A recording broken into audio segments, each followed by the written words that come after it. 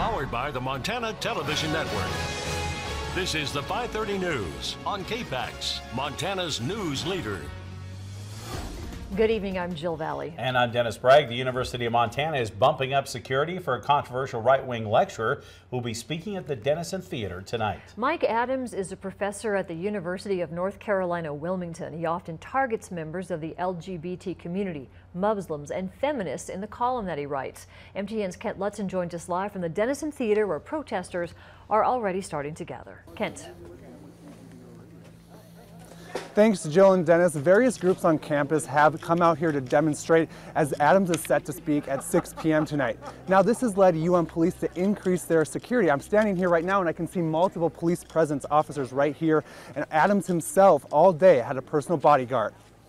Adam Mike Adams was invited to speak at the University of Montana's annual Jeff Cole Distinguished Lecture, but was met with backlash. The UM School of Journalism has sponsored the lecture for the past nine years, but pulled out after Adams was selected to speak.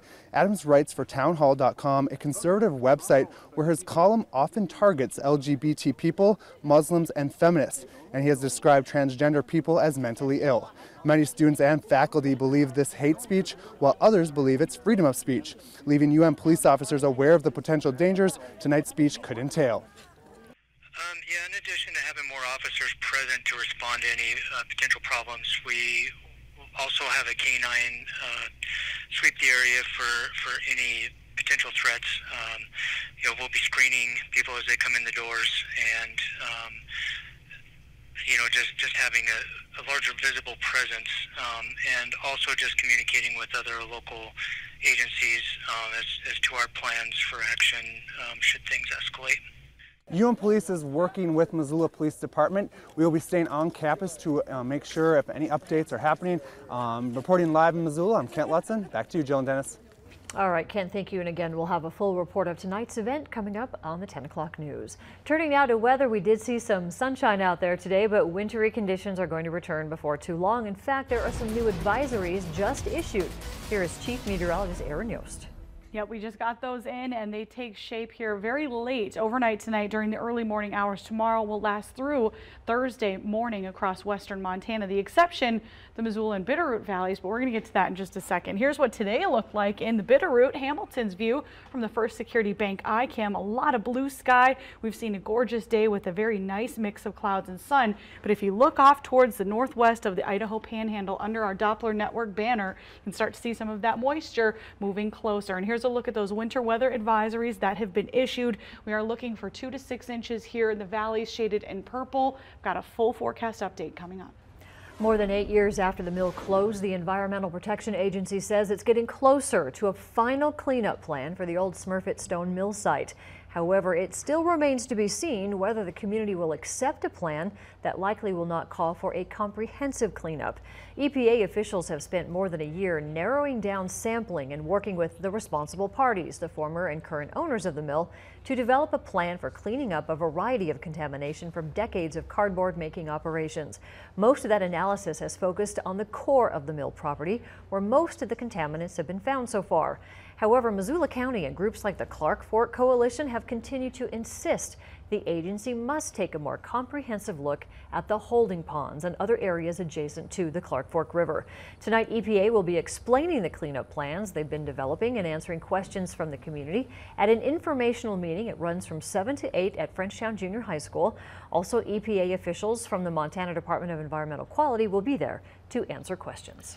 Stevensville Mayor Brandon Dewey says the fire department is his life and he'll plan to return as a volunteer if a future attorney general's opinion supports the idea of him serving as both mayor and firefighter. Dewey is agreeing to step down from his job as a volunteer firefighter after getting pressure from the town council. Council voted unanimously Monday to ask for Dewey's immediate resignation from the fire department, where he's been a volunteer and administrative assistant for several years.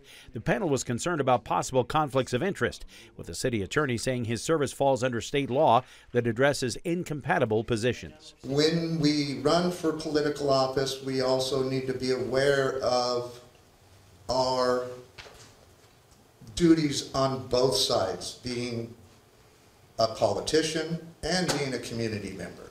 Dewey followed in his father's footsteps as a firefighter, and he thanked his fellow firefighters and supporters in the audience for their support and teaching him leadership. I have family in the fire department. My very best friends come from within the fire department. My mentors and the advice they lend me comes from the fire department.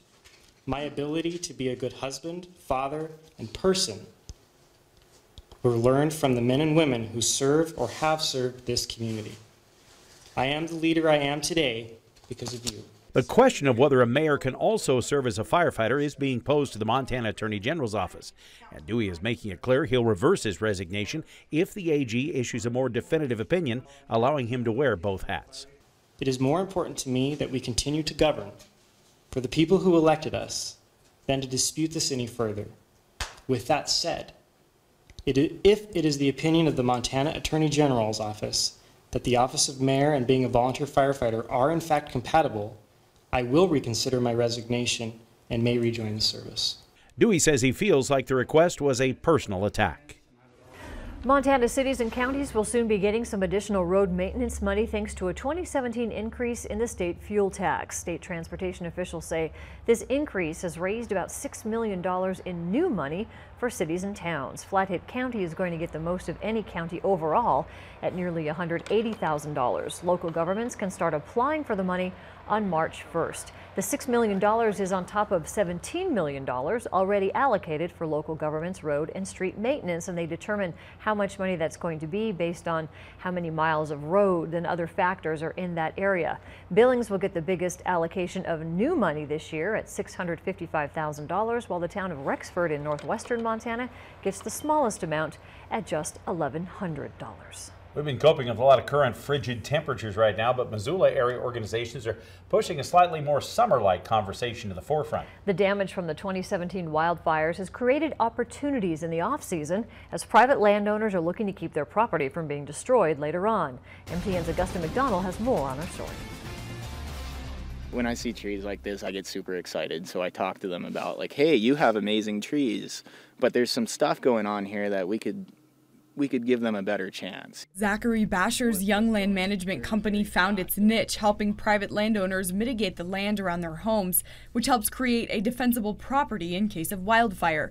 He recently joined the Forest Resource Committee of the Missoula Area Chamber of Commerce. The chamber and their board of directors and the entire community is just shown such interest in why things are happening the way they're happening. And what the community can do about it because they're hurting. The Chamber's recent State of Missoula banquet hosted researchers who discussed how to move forward from the economically devastating 2017 fire season. We don't have a choice over eliminating the inevitable extreme wildfire, but we do have a lot of opportunity, a lot of choice over the characteristics of the immediate of our homes and our immediate surroundings. Basher said he received calls this fall from private landowners with questions on how they can avoid property damage this upcoming summer. On these private lands where fire has been suppressed for almost a century, you have duff layers this deep.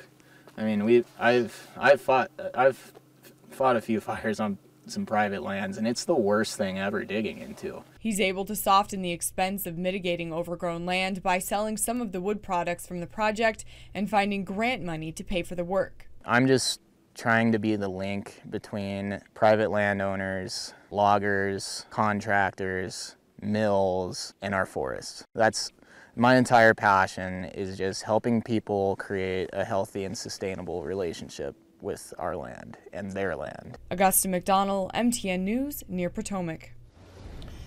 Coming up, a natural grocery store coming to the Southgate Mall this spring. We'll have an update on their construction. And how a fundraiser in the Flathead is helping the homeless through art. Stay with us here on MTN.